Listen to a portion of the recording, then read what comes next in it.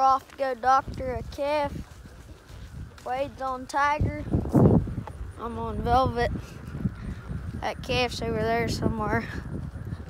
He's got a little bit of respiratory problems, so we're gonna give it a shot and show you show you what it's like.